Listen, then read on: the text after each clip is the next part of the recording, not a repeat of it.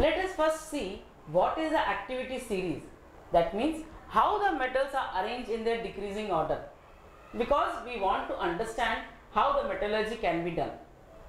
Now as you see a list of metals is written here. Potassium, sodium, calcium, magnesium, aluminium, zinc, iron, lead, copper, mercury, silver, gold. Now you must have seen how it is coming down in the decreasing order.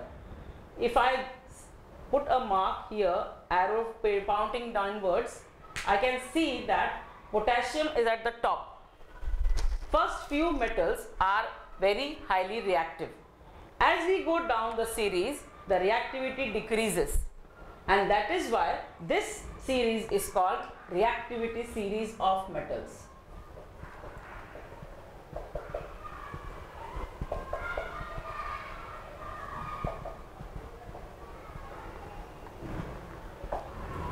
Now based on this series, we are going to divide them into three categories. Now what are those three categories and why we are going to divide it? We are going to divide them into three categories because because based on those categories we are going to decide what will be the process of metallurgy. Now you see these first four that means potassium, sodium, calcium, magnesium are quite reactive as compared to others. Therefore, we are going to put them in the metals of high reactivity.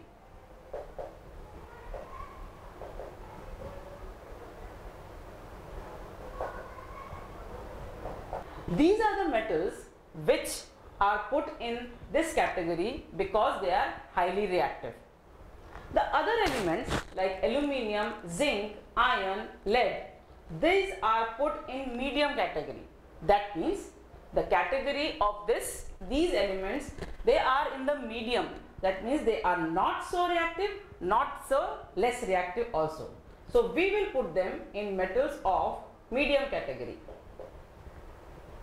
or medium reactivity.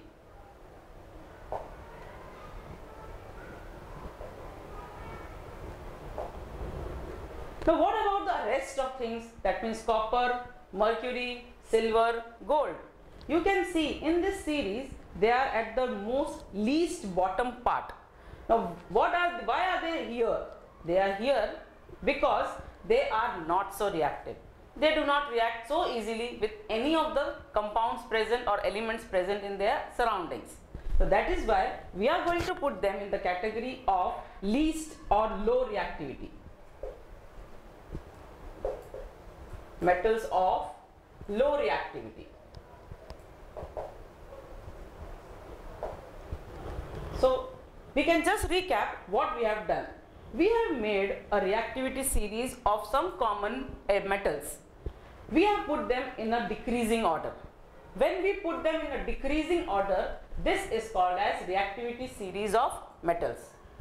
Once we have made into a series, we will see which are highly reactive, which are medium reactive or which are very low reactive.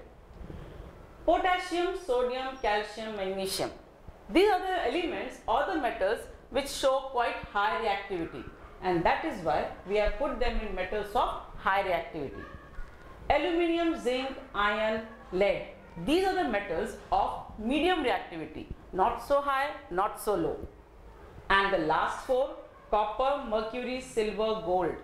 They are present in the low reactivity series because they are very very less reactive as compared to other elements.